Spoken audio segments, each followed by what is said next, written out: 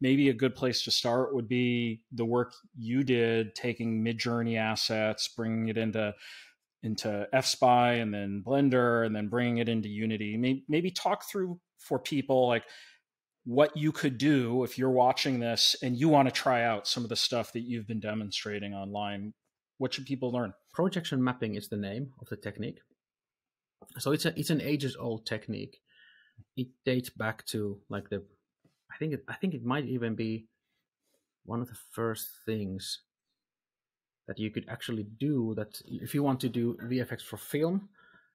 I don't know, maybe like projection mapping has been out it's been here forever. And it's basically what you do is you take your image and you imagine like if you had a video projector placed exactly where the camera is and it would project a photograph on a surface and then you had another camera that you could move around and it would feel that there's actual depth to it. Of course of course there is actual depth to it but you kind of get for free all the lighting and all the little details in there. I've been doing projection mapping for forever. I think i started to do the technique in 2005 on some animation stuff. We did the background for the animation with projection mapping where an artist would paint a background and then I would model it, and then we could add some camera movement in it, so it would feel 3D, but it was actually just a 2D painting. Once I got the, the AI tools and I wanted to use it for games, I didn't necessarily need the, the projection mapping first, but I, I figured it would be easier to place the game content in the 2D image if it was in three dimensional space. Once you get the image out of uh, Midjourney, or any other, any other tool. It could be a photo, it could be a drawing. It doesn't need to be AI. It can be it can be a watercolor painting or oil painting or, or whatever you want it to be. All the techniques are the same after this point. So then FSpy is a tool that will it will figure out the vanishing points in the image, like the perspective of it. With a couple of uh, guide to guidelines, it will give you the the camera position and the focal length and the and the FOV of the image so that you can start placing 3D uh, meshes on it.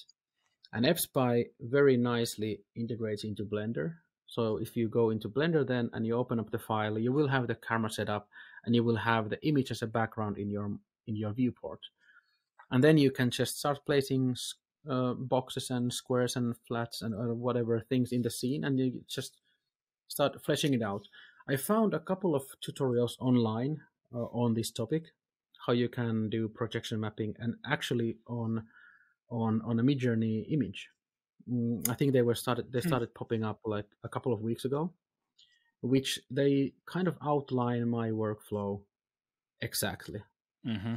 Which was really nice, so I could then just share those instead of having to do do a full on tutorial myself. I could just point people to like, hey, this is this is a video online. She does exactly the same thing that I do and she explained it explains it way better.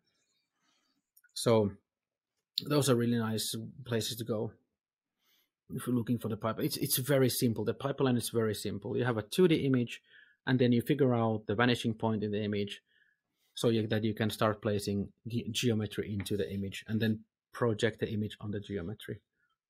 And if you don't move your camera at all, you can get away with very simple geometry